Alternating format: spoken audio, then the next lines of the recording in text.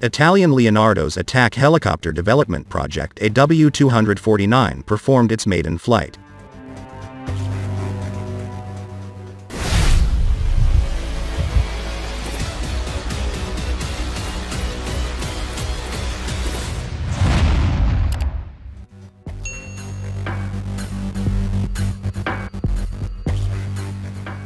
The rotorcraft project formally started upon receipt of a 487 euros contract from the Italian army to replace the 5-ton class Agusta A129 Mangusta. The new helicopter will be larger, more survivable, and have greater autonomy than the Mangusta and will be 3 tons heavier. The new helicopter will incorporate stealth technologies and team with UAVs to command and control them.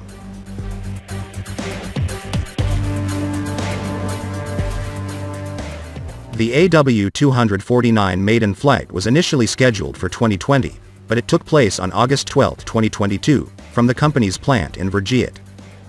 AW249 is based on the AW149 tactical transport helicopter.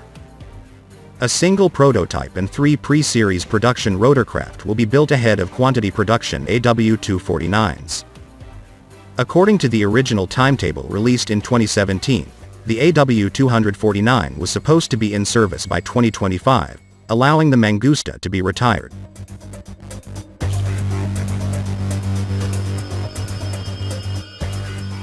The helicopter will be equipped with Otto Melara TM-197B 20mm chin-mounted cannon, a Rafael Toplite targeting system and Spike ATGM. The helicopter has six hardpoints to deploy guided and unguided rockets and air-to-air -air and air-to-surface missiles. Usually, there are four hardpoints in this class of helicopters, but redesigned wing stubs offer additional hardpoints.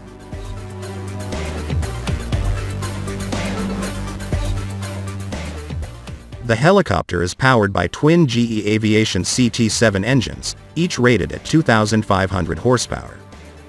The dynamic components are inherited from the AW149.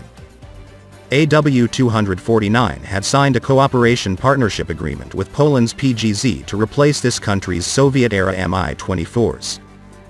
The AW249 was not shortlisted. Germany may also procure the AW249 to replace Tiger helicopters.